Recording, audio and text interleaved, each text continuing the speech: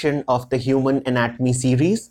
And today's topic of my discussion will be about the pharyngeal pouches. So, students, the uh, derivatives of the pharyngeal pouches has been very frequently asked in the various competitive exams, particularly in the NEET PG entrance, uh, NEET PG entrance exams. It has been our very favorite questions, which is being asked over the years again and again. So today's topic will be focusing upon the pharyngeal pouches. So firstly, looking at the pharyngeal pouches. So pharyngeal pouches, they are basically in the embryonic development. It is in the embryonic development, the pharyngeal pouches, they form on the endodermal side between the pharyngeal arches. So students do remember that it is in the embryonic development these pharyngeal pouches are formed and that too these pharyngeal pouches they are formed on the endodermal side between the pharyngeal arches.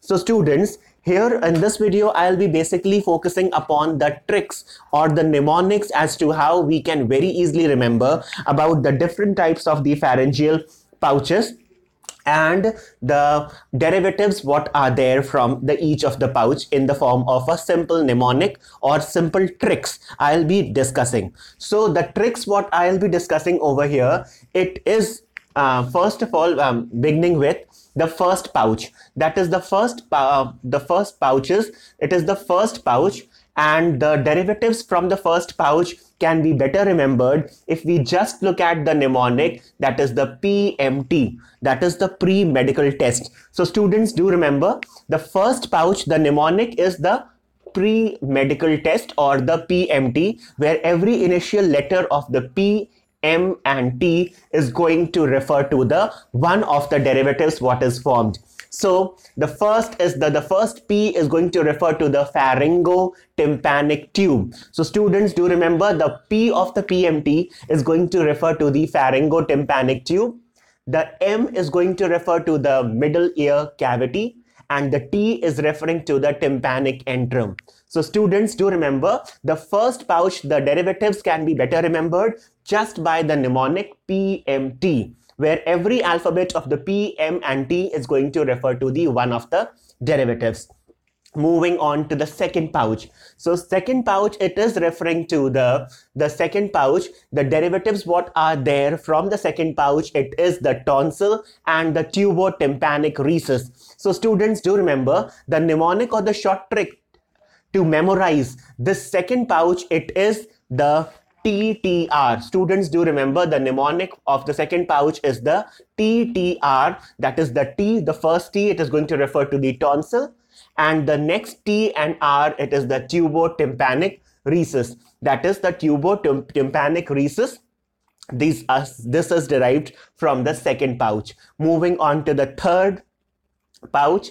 So the mnemonic or the short trick for this, it is uh, that uh, uh, the, uh, the third pouch, it is having the mnemonic that is the TIP, tip.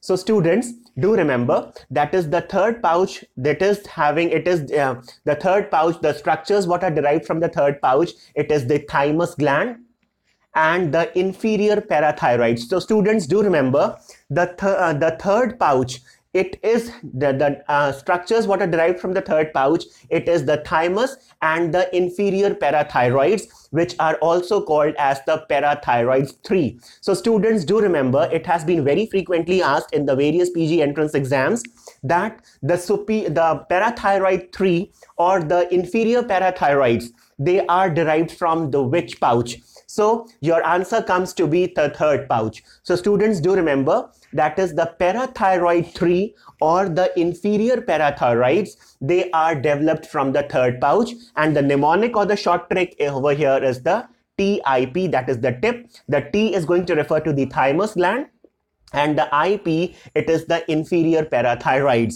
Moving on to the next pouch that is the fourth pouch so the fourth pouch the only structure what is derived from the fourth pouch it is the superior parathyroid glands, also called as the parathyroid 4. So students do remember the parathyroid 4 also called as the superior parathyroids So they are derived from the fourth pouch. Students do remember the inferior parathyroids, they are derived from the third pouch, whereas the superior parathyroid glands, they are derived from the fourth pouch. It becomes very confusing. Do remember the inferiors, they are from the three, and the uh, superiors, they are from the fourth pouch.